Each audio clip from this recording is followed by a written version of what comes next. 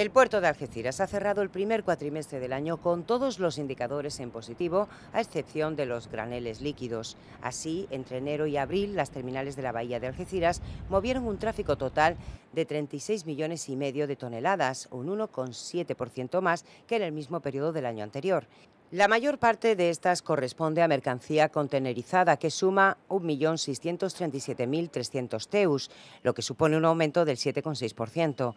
Esta tendencia, impulsada por el aumento de la mercancía import-export en el puerto, se refleja también en los tráficos del estrecho, que canalizan la importación y exportación entre Europa y Marruecos.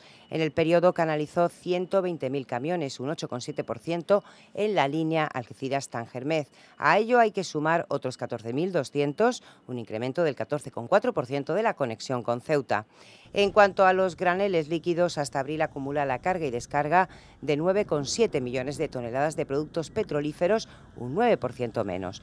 Por otro lado, el bunkering suma casi 800.000 toneladas de producto suministrado a los buques tanto en fondeo como en atraque un incremento de un 3,2%, mientras que los graneles sólidos se quedan en 592.119 toneladas, un 3,6% más. Se incrementan también los embarques de pasajeros y vehículos.